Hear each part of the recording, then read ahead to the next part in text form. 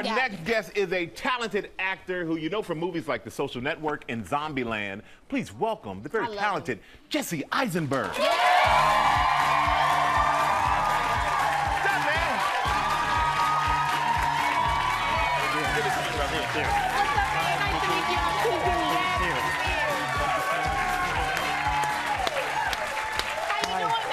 Great. How are you? Really good. You know, we were just talking about The Bachelorette, and I want to know, Yeah. like, do you watch that? Are you into reality TV at all? No, no, I'm not. No, I, uh, I'm into real life right now. But um, yeah, but uh, no, I didn't know it's like uh, still on. That's amazing. It's great that they've been able to do it Dead, the so shade. long. It's amazing. I wonder like if they're gonna get like the same people back. Like if they got like divorced or whatever, they got the same people back like for the second be- go round. You know. That would be- Bachelorette times two. That's right. And then the contestants like know what to do. You know, to get the person. You should person. be the producer of the next round of this. I know, I know. Machiavellian. Yeah. I heard a really funny story that your first date was actually with your wife. Yes, this is probably why I don't watch The Bachelorette. 'cause, like dating makes me so nervous that I married the first person I went on a date with. So, if I was on The Bachelorette, I would just like forfeit right away. You know, I would just like uh, get out of the limo or whatever they get off of and just quit immediately because dating makes me so nervous. You know. Really? It's- Why? Is it just getting to, uh, to know someone? It's Yeah, just talking to a new person that you might sleep with is terrifying. You know what I mean? It's funny how it just turns into a DM and then y'all in the bed together. It's very interesting how that works. I uh, I predated all that actually. Yeah, yeah. Stop telling on yourself, Kiki. I'm not telling myself that Okay. was the story you told me. Oh, oh, no, I didn't tell you that story. that was that was pretty good. See how I had to flip it? But now, but now, but now, Jesse, you, you're so talented, man. Everything that you do, Yes, love very. watching you. And now you have a new movie, The Art of Self-Defense. Very Yeah. interesting, dark premise. Tell us about it. Yeah, it's this like brilliant satire on like kind of modern like masculinity and the absurdities of masculinity. Uh, it's about this guy who gets attacked on the street, and so he decides to take a karate class to like learn self-defense. But the karate is like this weird. I mean, like the class is like this weird cult that he gets sucked into, and it's absolutely brilliant and hysterical. So have you ever done any karate yourself before this film? Yes, I did like three weeks when I was like eight. You know, I, this was like every suburban Jewish kid in America had to like do yes, like. come on now. Yes, Yes, had to do like a few weeks of karate until they realized what it is and then immediately quit and then joined a math club or something practical. You know what I mean? Yeah. Hey, whatever it takes. Yeah, Um, exactly. Now they say, they say, you know, you two are big, big actors. You stop. never work with kids and you never work with animals. You work Yeah. with dogs in this movie. Yes, I What was with- that like? It was good and bad. Like we worked with this sweet dog. My character's only friend is this tiny little dachshund, and you know it's the dog that's long but then short. You know, and it's the cutest thing. And the dog was amazing. Like actually great. Like did all the correct things. And um, and then I go to this karate class, which is like a cult, and they tell me I have to be more masculine. And to be more masculine, I have to get rid of my dachshund and get a German Shepherd, Oh, because this is what this is what men you know men men have.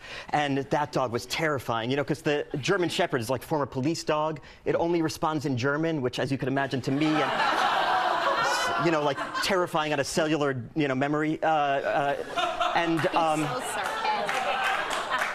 and uh, and also, I think the dog, you know, maybe had it out for me based on, you know, our respective histories. Now Yeah. I hear something also very interesting about you, which is that you never buy clothes. No, no, no, I no, So no. how do you get the clothes on your back?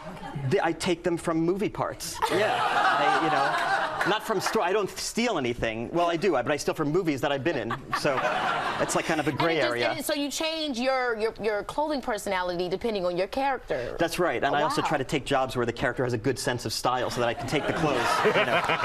Yeah, Very well thought out. exactly. But, Yeah. but then when we decided you were coming to come here, we, we didn't want you to go home empty-handed. So we went through our wardrobe. Yep, Yep. yep, yep. And we thought you like a few of these things that we brought out here for you, buddy. Yes, yes. Yes.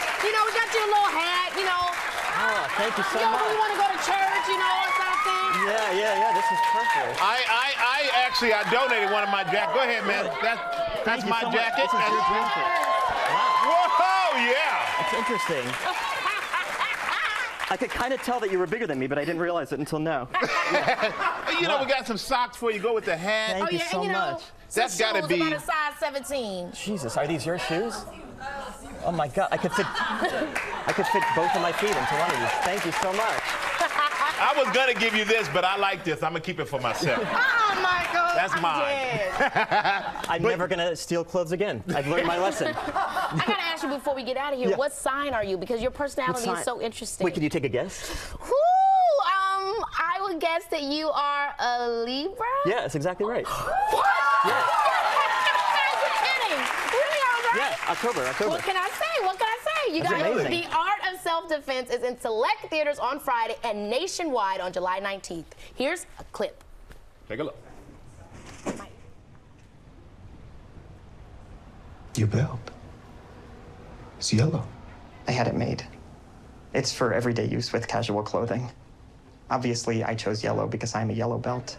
I wanted to wear my yellow belt all the time, but I knew it would look strange. That really is a wonderful idea.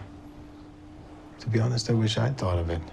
Now I could be a yellow belt in everyday life, in addition to being one in this dojo. That is actually brilliant. Yeah, I know. Yeah, it's pretty Work your weird. way up to the black belt, my man. I know. Well, you know what you get. turns out. The movie, The Art of Self-Defense, is, is, is in select theaters on Friday and nationwide on July 19th. Jesse Eisenberg, everybody. That's right.